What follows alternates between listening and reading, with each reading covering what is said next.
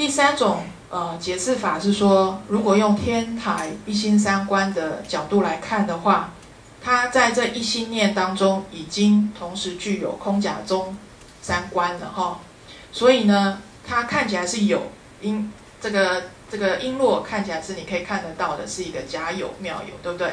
因缘所生法的有，然后呢，它的体性又是空性哈，璎珞的也是一样是因缘所生法哦，所以诸法性空，但是又以不二哈，不偏空也不偏假的一个中道，所以他一心之内已经具足这三观哈，所以法法平等的时候，他把这个璎珞解下来哈，供养出去，那事实上他是用，如果他用一心三观的角度来看的话，这个璎珞已经不是璎珞了哈，不是我们一般世俗璎珞，而是他已经具足了这所谓的啊法法平等的这样一个代表。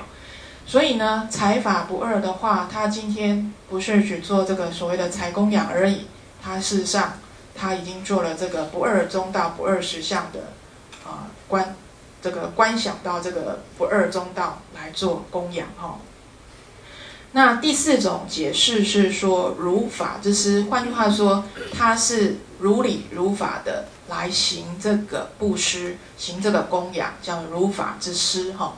那包括太虚大师，他也也表示这个是如法之师，所以称为法师。但是我觉得这边的深度哈，如果你要深度来看的话，我想呃，这前面三种比较有意涵的，可以解释这个为什么叫做财师哈。这跟药王菩萨本师品是一样的道理哈。它看起来燃身像是一个身体一个财布施，但事实上它。因为是真法供养，哈，所以已经转成所谓的法师了，哈。这样子可能大家就可以理解说，为什么这个无尽意菩萨，啊，他会说仁者，啊，是称呼这个观世音菩萨，仁者请受此法师珍宝璎珞，啊，他自己说这是法师，他没有说我用财宝来供养你，哈，这样可以理解吗？啊。这是一般解释普门品不会提到的一个内容哈。如果一般解释比较偏向信仰层面，或是他护难的这些种种的教化功能的话，呃，比较少深入提到这一点。那我们今天趁这个机会哈，把这个这个部分提出来跟诸位分享。那另外提到普门品，它之所以有单品流通，这追溯到蛮早了哈。你看看这个西元，呃，四世纪到五世纪的时候就已经有单品流通了。那缘由呢？啊，这是因为当时的这个河西王哈，这个举渠蒙逊啊，他因为生病啊，生生了怪病。那这一位当时的一位法师啊，谭谭无正也是一位翻译家哈。那他告诉他说啊，你要读这个观音菩萨的这个普门品，因为观音跟持土有缘哈。你如果诵念的话，你的病苦特殊的这个怪病就可以消除。所以哎，后来他念了以后就很有灵验哈。所以后来这个东西普门品就怎么样，就单独被流通出来了。本来它是法华经里头的一品，但现在就从呃。五世纪、四世纪到五世纪就已经有单品流通了。那你想想看到现在已经很久很久了，哈。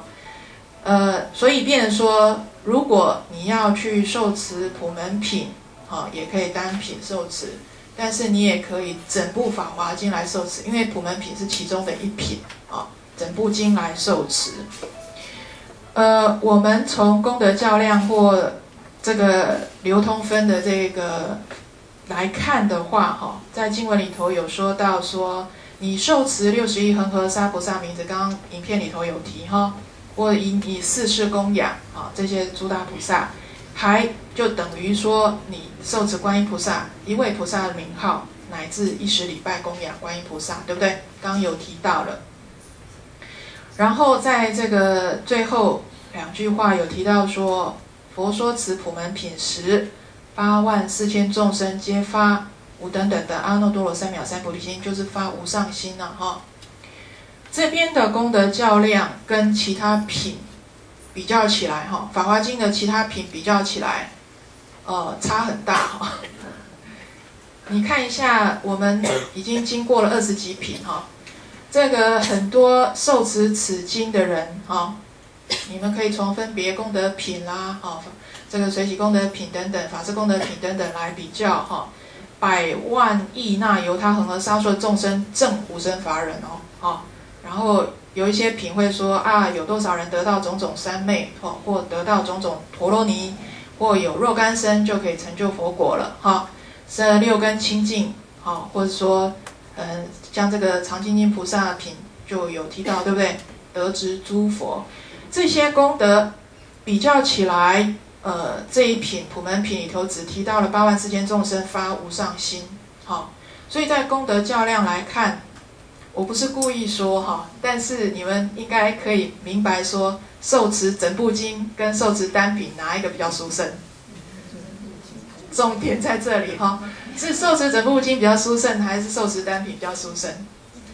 说大声一点，这是经文证明的，不是我说的哈，是经文证明的。当然，我们跟观音菩萨有缘哈，但是你想想看，普门品也是法华经里头的一品，你如如果受持整部经，当然也受持了普门品，懂吗？它已经包含在内了。但是如果你只受持普门品，不受持法华经的话，你只只有成就这样的功德，发无上心的功德，哦，这这是经文说的，不是我说的。我这样讲的意思是鼓励大家应该受持怎么样？整部法华经哦，因为它实在是经中之王，太殊胜了哦。那接下来我花一点点时间，因为有带到陀罗尼品哦，这一品我想很简单，就是呃，事实上是药王菩萨问持经的功德。好，然后呢，佛就给他答说，啊，有怎样种种功德，哈，很多。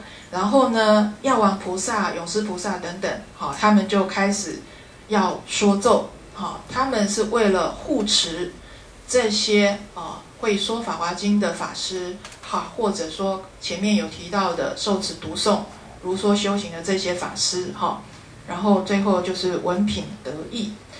我们来看一下。宣说神咒的有哪些对象呢？哈，一个是药王菩萨、勇士菩萨，他们是菩萨的代表，哈。然后第三是毗沙门天王，哈。第四是持国天王，他们是四天王里头的两位，哈。一个是北北天王，一个是东，哈。又他的名称，呃，北北天王又称为多闻天王，哈。那持国天王又名啊多罗扎天王，因为有时候他会靠他翻译，哈，梵文的翻译，哈。所以名称会有一点点不一样哈，然后还有十罗刹女，还有鬼子母，还有他的儿子啊。那鬼子母据说有五百位儿子哈，那因为他过去是发愿说要把王舍城里头的孩子都吃光了哈，发这个恶愿，所以他就堕落到这个药叉哈，夜叉或药叉。那这个他生了五百个这个鬼子哈。那佛就为了怎么样？为了要度化他，把他一个儿子偷偷藏起来。他很紧张，很很很紧张，很着急。佛就跟他说：“你失去一个儿子都已经啊这么紧张着急，何况是你把人家的啊孩子啊都吃掉？那所以他后来就发愿归命这个佛教，然后怎么样护持哈护持佛法，而且呃也甚至会保护这些幼儿哈。”有生产的人或是幼儿，他就发愿会保护。那十罗刹女，啊，这边经文里头有种种的名称嘛，哈。但是这些呃所谓的罗刹就是会吃人的哈，本来是这个这个看起来像是恶鬼，对不对？可是他来护持的时候，他反而是这样发愿的哈，来护持。那他们会保护的对象，刚说了，包括是解说法华经的人，哈。另外一种是受持读诵或修行法华经的人，因为他们已经发愿而也宣收神咒了，对不对？所以如果诸位有受持读诵法华经，就很安心，因为他们会来护持啊，有有这位这些菩萨或是这天王，还有呃这些罗刹及龟之母等等，都会来保护的哈。那至于咒语，因为不翻，所以我也没办法解释哈，所以本来就没有翻译出来，所以就。如果想要了解，就去呃略略读诵经文哈。好。